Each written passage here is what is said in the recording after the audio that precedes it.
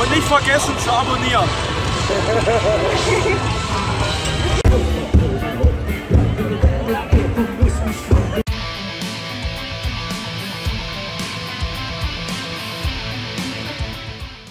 Hey Leute und willkommen zu meinem Festival-Vlog im Jahre 2017. Diesmal geht's zum Rockharz. Ich habe gestern Abend noch da gesessen und gepackt und meine Kurte fertig gestickt. Ich will euch mir eben zeigen, welche neuen Patches ich draufgesteckt habe. Und zwar einmal das von Vollbeat, dann das von Slayer, das finde ich richtig edel. Dieses hier oben von Deserted Fever. Ich werde mich jetzt fertig machen. Ich war gerade noch duschen und wir haben gerade auch noch Brötchen aufgebacken. Und dann geht's auch schon los. So, ich bin jetzt fertig. Wir müssen dann nur noch die Brötchen aus dem Ofen holen und das ganze gekühlte Essen in die Kühlbox tun. Und dann fahren wir auch schon los. Und ja, wir sind gespannt vor allem, weil das jetzt unser erstes Festival ohne meinen Papa ist, weil der leider arbeiten muss und keinen Urlaub bekommen hat. Es kommt ja noch einer von unseren Kumpels mit, der Philipp. Und der war noch nie auf einem Festival. Also es wird sozusagen für uns alle irgendwie ein erstes Mal. also Leute, so grandios haben wir hier das Auto gepackt. Das ist übrigens mein Sitzplatz. Ja, ich bin heute auf sehr engen Fuß unterwegs. Decke und ja, hier ist eigentlich alles voll. Und hier vorne sitzt der Beifahrer. Und dann muss halt irgendwie noch die Kühlbox zwischen die Beine. Mal schauen, ob das klappt. Die Kühlbox hat vorne nicht mehr reingepasst. Deswegen liegt die jetzt hier so rum. Und ich werde die die ganze Fahrt so halten. Ich hoffe nur, dass wir heil ankommen, weil unser Auto ist so voll. Das geht gar nicht klar. Wir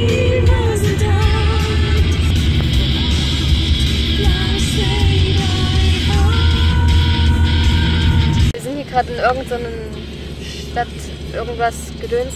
Und da stand an so einer Bushaltestelle gerade an so einem Plakat einfach mal richtig groß.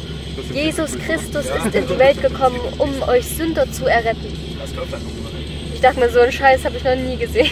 Wir sind da, aber allerdings natürlich Stau. Ja, halt nochmal an. Und da hinten sind Flugzeuge. Wir sind jetzt bestimmt schon seit über einer halben Stunde hier im Auto, schon auf dem Rockharz-Gelände. Eine Stunde ist es eigentlich schon. Eine Stunde schon? Ach, okay, eine Stunde schon. Und wir haben einfach immer noch keinen Platz gefunden, weil es einfach alles schon so voll ist. Gestern war schon Anreise, aber da hätte man bezahlen müssen. So, und jetzt nach Ewigkeiten des Parkplatzsuchens haben wir endlich aufgebaut. Unser Zelt, Philipps Zelt noch und der Pavillon. Und jetzt haben wir endlich alles. Ich sag mal, um eins sind wir hier angekommen und jetzt ist es mittlerweile schon drei Viertel drei. Wir haben es jetzt endlich mal geschafft, äh, Mittag zu essen. Und wir werden dann wahrscheinlich auch gleich vorgehen und unsere Bändchen holen und Programmheft und so. Und wir sind wirklich ganz, ganz hinten. Wir werden dann mal die Zeit messen, wie lange es braucht, bis wir vor an der Bühne sind. Vor allem, wir haben hier so richtige Profis am Werk, ne? die einfach mal ihr Zelt auf dem Auto haben. Seht ihr das? Da war auch gerade jemand drin, die schlafen da drin. Das, das ist übelst heftig, das habe ich noch nie gesehen. Also wir stehen jetzt gerade an der Bänchenausgabe und wir haben von ganz hinten bis zum Bühnengelände tatsächlich nur eine Viertelstunde gebraucht. Hätte mit mehr gerechnet. Mit dem Besoffenen hier hält sich in Grenzen und auf dem äh, Campinggelände gibt es auch äh, solche Stände, wo du Brötchen oder Kaffee kaufen kannst. Das ist ganz cool.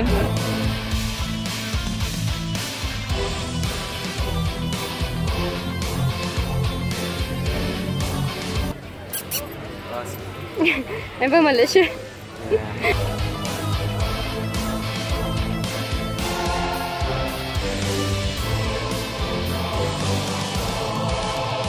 Leute, ich habe einen wunderschönen Laden gefunden.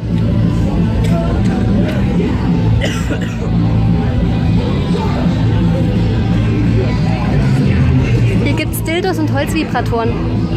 Voll schön. Ein kleines Softeis geholt. Mit Kirschsoße und Zuckerstreusel. Richtig nice.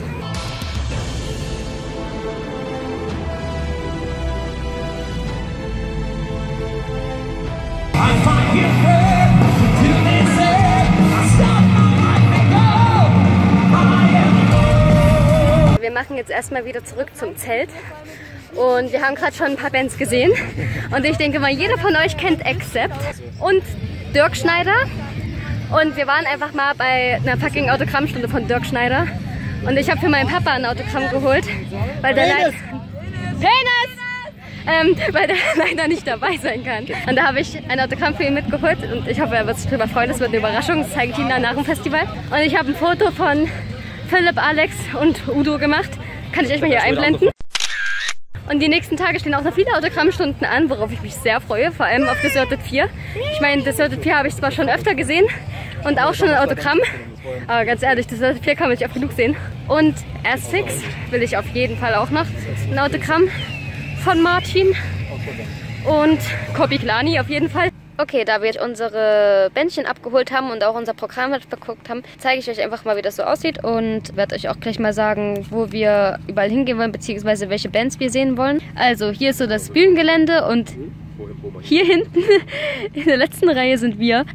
Heute am Mittwoch kommt für uns nur noch in Frage Dirk Schneider, weil alles andere, wir haben Bloodbound, Sirius Black, Bloodbound war ziemlich gut, äh, die haben wir gesehen waren dann halt, wie gesagt, bei der Autogrammstunde von Dirk Schneider.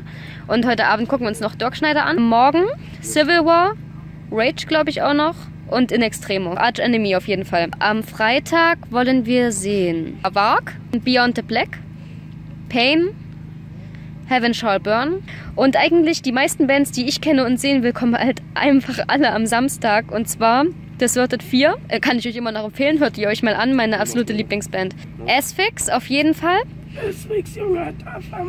Insomnium, Corpi Klani, ey, bei Corpi Klani hoffe ich so hart, dass die Wodka spielen, weil Wodka ist einfach mein Lieblingslied von denen und da kann ich einfach nicht still sitzen. Blind Guardian will Philipp auf jeden Fall sehen. Feuerschwanz wird geil. Wundert euch nicht, denn also auf dem letzten Festival-Vlogs vom Partisan und vom Force habe ich ja immer mal viel die Bands gefilmt. Jetzt wurde aber ausdrücklich wirklich auch ins Festival ABC und überall hingeschrieben, dass wer mit ein Handy oder Kamera oder sonst was erwischt wird und irgendwelche Aufnahmen von den Bands macht und nicht als professioneller Fotograf eingeschrieben ist, da können die hinkommen und sagen, hier löscht das oder die können halt ja auch im Nachhinein noch und die können halt auch die Kamera oder beziehungsweise mein Handy konfiszieren. Und ich habe keinen Bock, dass sie mir mein Handy wegnehmen. Deswegen werde ich vielleicht mal so ganz unauffällig mal so fünf Sekunden, wenn niemand hinguckt, mal eine Band filmen.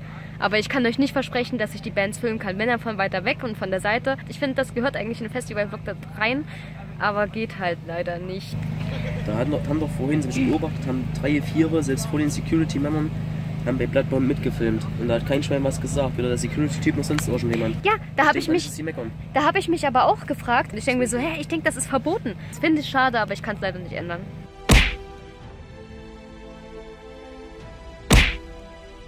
Hier gibt es ja auch noch äh, ein Denkmal oder so. Keine Ahnung, das heißt Teufelsmauer. Da werden wir morgen auch mal hingehen und uns das genauer angucken. Da kann man nämlich hochlaufen.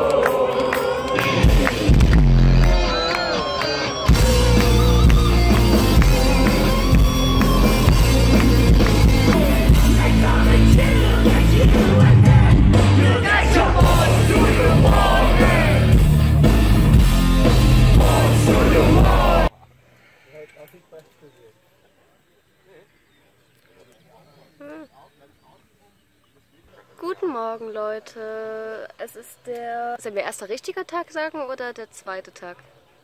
Der erste richtige Tag. An dem der erste richtige Tag, okay. Wir machen gerade Frühstück, löslicher Kaffee, Brötchen. Du musst natürlich darum kümmern, dass die alle was ordentliches zu frühstücken haben. Das haben die im Laufe des Tages einfach irgendwann keinen Bock mehr. Und da muss natürlich auch ein bisschen Obst her, sprich Banane, Apfel, verschiedene Käsesorten, irgendwas zum draufschmieren, Butter, das muss alles da sein. Und Kaffee, dann sind die auch zufrieden.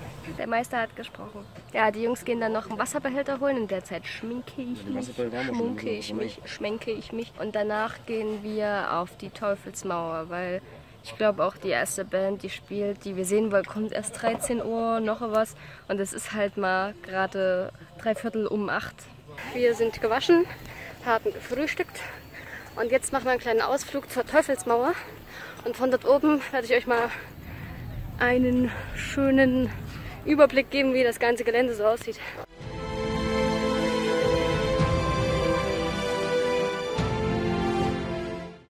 So, Hälfte des Weges geschafft, kurzer Zwischenstopp, weil wir schon kaputt sind. Und so sieht's von der anderen Seite aus.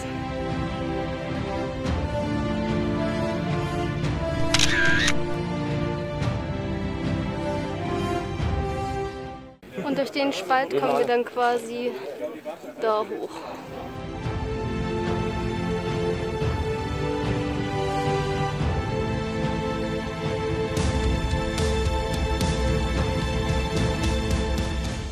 Und nachdem Alex auf Klettertour gegangen, gehen wir jetzt noch so einen Wanderweg zu einem anderen Fels. Die Pioniere sind meilenweit auf diesen Dingern geritten. Auf mich, mein Pionier! Wir sind gerettet, gerettet, gerettet, gerettet. Und falls ihr euch fragt, welchen Lippenstift ich drauf habe, den NYX Liquid Sweet in der Farbe 01 Stone Fox.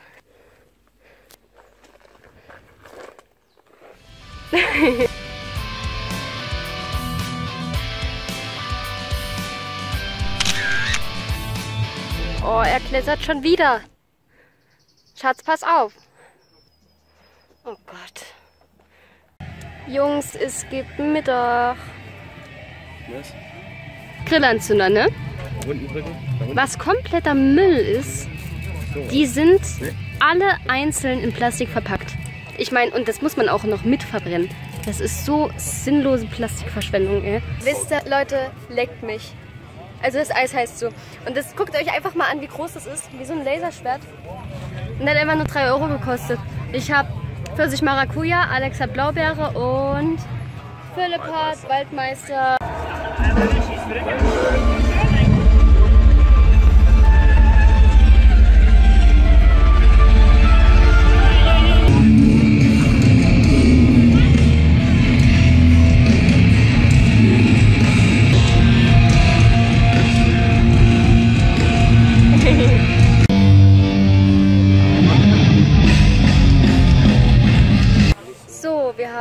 unsere Rockharts-T-Shirts geholt und ich habe mir das hier geholt.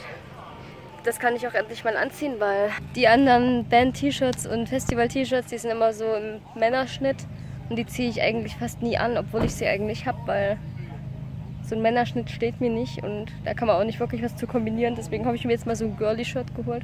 Und das ist auch luftiger und das ist wirklich gut, weil es ist gerade so sterbend heiß. Und das hier tut wieder weh. Ich habe hier irgendwie so eine Vene oder Ader oder so, die geht bis in die Schulter und die tut voll weh. Die drückt. So.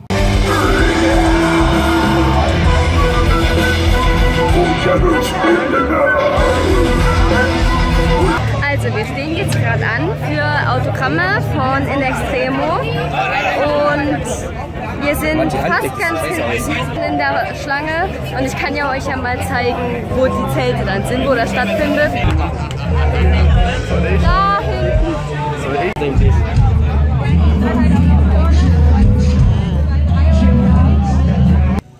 Abendbrot.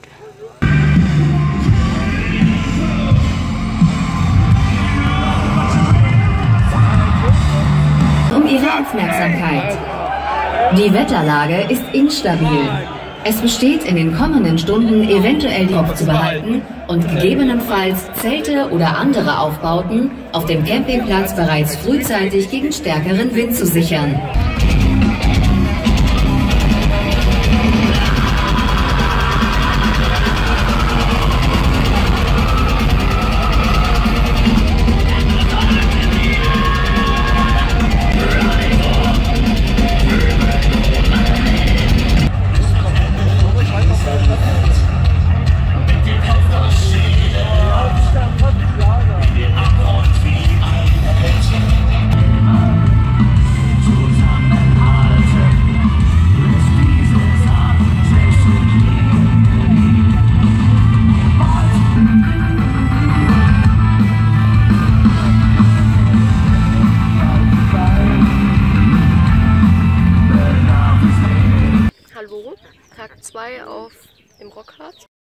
Essen jetzt auch gerade Frühstück und gestern haben die ja auch so eine Unwetterwarnung durchgegeben, dass es eventuell etwas bremslich werden könnte.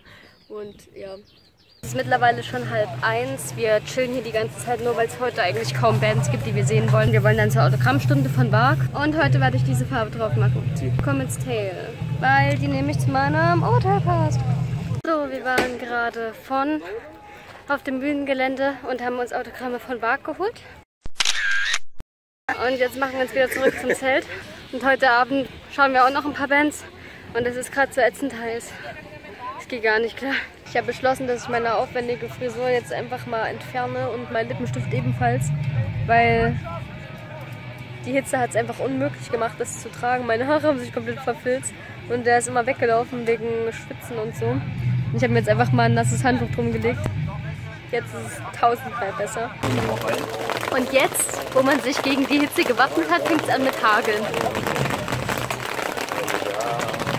Ja gut.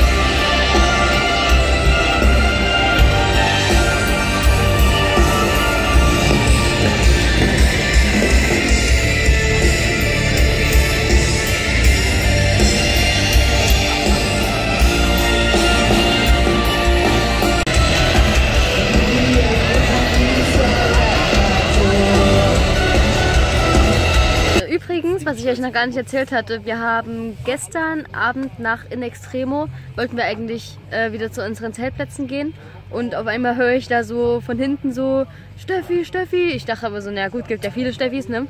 Auf einmal wurde das immer lauter, so Steffi, Stefanie. Dann tippt mich jemand an, wir so, hallo, wir sind YouTube-Abonnenten, können wir ein Foto machen. Und vorhin haben wir uns nochmal mit denen getroffen Und besoffen. und ein Bierchen getrunken, Na, eh. beziehungsweise Wodka O, äh, Wodka E. Grüße gehen raus an Alex aus Weimar. Von dem anderen weiß ich leider nicht, wie er heißt. Einfach Jens. Wenn nicht weißt, wie er heißt, Jens ist nicht verkehrt. Ja, ja, wir nennen ihn jetzt einfach Jens. Ja, sicher. Während des Pain-Konzerts wollte ich aufs Klo gehen und da sind wir hinten an diese Sanitäranlagen gegangen. Und ich habe bei den Damentoiletten jede Kabine aufgemacht und da war einfach die ganze Kabine war so eine Pfütze Wasser und man hatte nichts, wo man sich hinstellen konnte, wo es trocken ist. Ja, das war echt, also hätte ich mich da reingestellt, dann wären meine Socken durch gewesen. Das war richtig heftig. Unsere Dixies hier um die Ecke, die ziehe ich jeden Festivalklo vorne vor. Außer die, die äh, nachts leuchten, die haben auch Spülung und Desinfektionsmittel und so. Die leuchten grün, wenn sie frei sind und wenn sie zugeschlossen sind, leuchten sie rot. So, wir gehen jetzt wieder vor zu Heaven Shall Burn.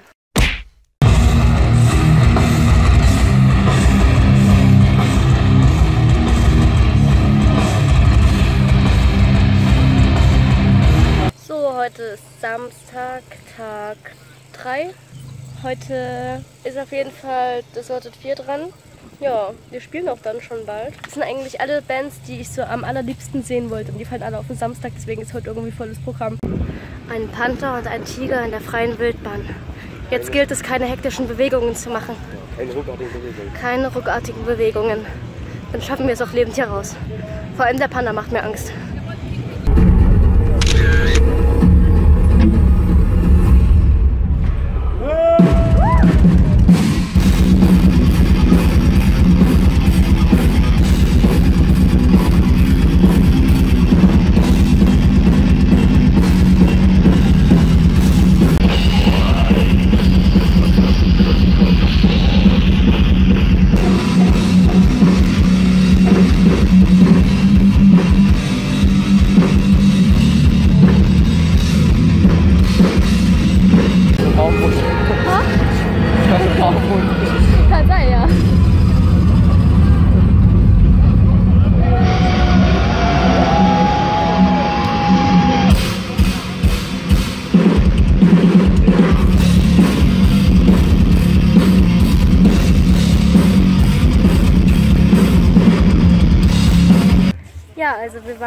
Deserted 4. Die waren natürlich mal wieder mega geil. Nur leider haben sie halt viel zu kurz gespielt. Naja, im November sehen wir sie wieder im Hellraiser in Leipzig. Und dann haben wir uns nach Autogramme-Funding geholt und haben ein richtig cooles Foto gemacht.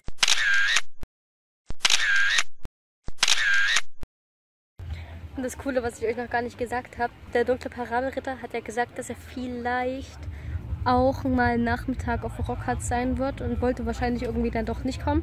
Und ich habe ihm so eine Nachricht auf Facebook geschrieben, ob er denn jetzt kommt oder nicht. Und der hat mir einfach mal eine Sprachnachricht zurückgeschickt, dass er kommt. Also werde ich wahrscheinlich einfach mal einen dunklen Parabelritter treffen. Für mich mega geil, weil ich ein mega Fan von ihm bin. Ja, werde ich dann auch mal ein Foto mit ihm zusammen machen. Ich bin gespannt.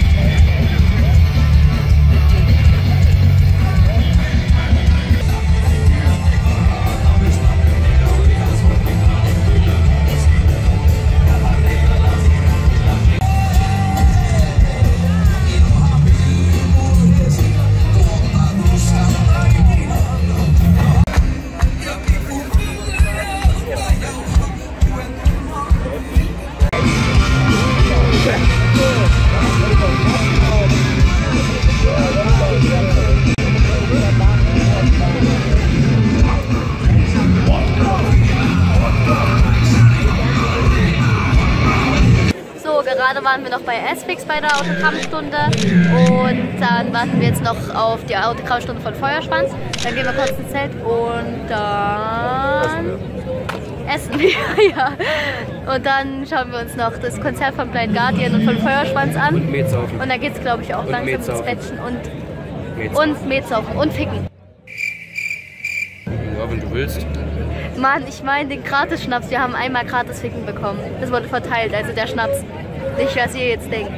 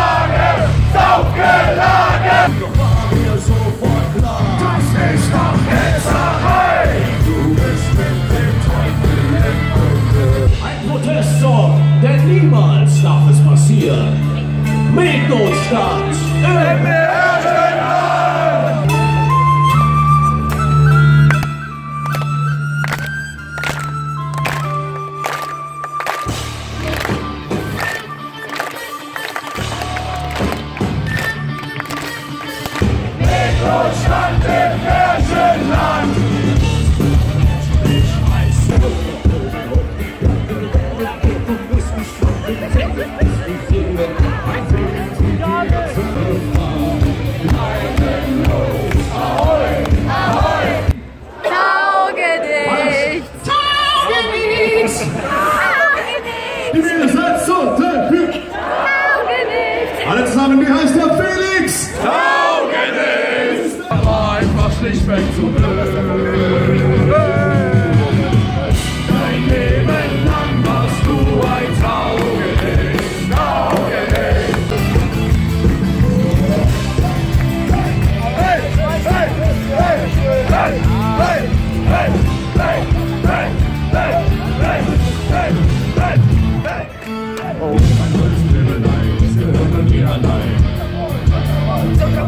Hallo Leute, wir haben jetzt alles zusammengeräumt und eingepackt und sind auch schon auf dem Rückweg, beziehungsweise wir sitzen im Auto und sind noch auf dem Campingplatz und müssen auch noch den Müll wegschaffen.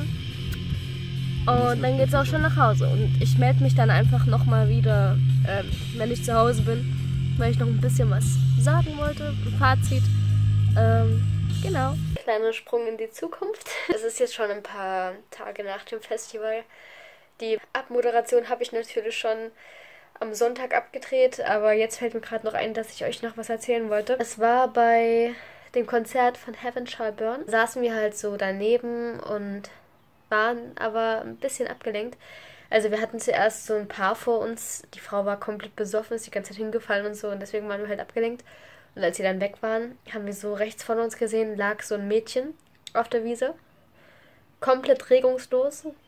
Und ich glaube, ihr Freund war bei ihr. Äh, der hat dann so Hand an die Nase gehalten, geguckt, ob sie noch atmete. Ein anderer hat Puls gefühlt, ob der noch da ist.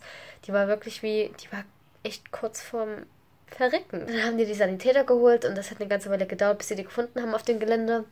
Und äh, haben die derweil in stabile Seitenlage gebracht. Und als die Sanitäter dann da waren, hat sie auf einmal angefangen ge zu schreien.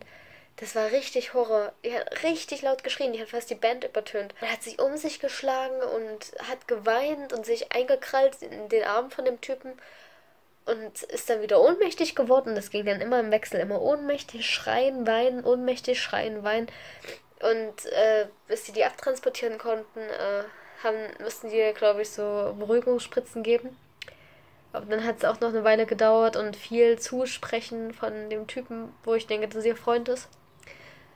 Das war echt heftig. Ich saß da, ich hab, ich kannte die nicht, aber ich habe mir mega Sorgen gemacht, weil ich dachte mir so, Alter, wer hat der was in den Trink gemischt, dass die so abgeht gerade? Das war, also ich hatte da richtig Herzklopfen und ich habe echt gezittert, weil ich dachte mir so, du sitzt auf dem Festival, auf der Wiese und da ist so viel los, dass jemand neben dir fast stirbt und du merkst es gar nicht. Was wäre, wenn der Typ nicht da gewesen wäre und die Sanitäter gerufen hätte? Wir hätten uns das Konzert angeguckt, hätten die gar nicht bemerkt und die wäre genau neben uns einfach gestorben. Und da wollte ich einfach nochmal einen Appell an euch geben, wenn ihr auf irgendwelchen Partys oder Festivals seid, nehmt keine Getränke von Fremden an oder irgendwelchen Leuten, die ihr nicht so gut kennt. Und passt auf eure Getränke auf, dass da niemand was reinmachen kann, weil solche Verrückten gibt es überall, immer. Ja, und achtet auf eure Mitmenschen, wirklich. Äh, geht mit offenen Augen durch die Welt. Es passiert immer was und es gibt immer jemanden, der eure Hilfe gebrauchen kann. Wieder Sprung in die Vergangenheit und zurück zur Abmoderation. So, Hallöchen Leute. Wir sind jetzt schon wieder zu Hause und kultiviert und fahren jetzt gleich zu Alex Oma. Grillen oder so. Dann war es das auch schon wieder mit dem Festival-Vlog. Ich hoffe, er hat euch gefallen. Wenn ja, dann natürlich Daumen nach oben. Kommentiert, wie ihr das Video fandet oder ob ihr auch schon mal auf dem Rockharz wart, würde mich mal interessieren. Und natürlich Und nicht vergessen zu abonnieren.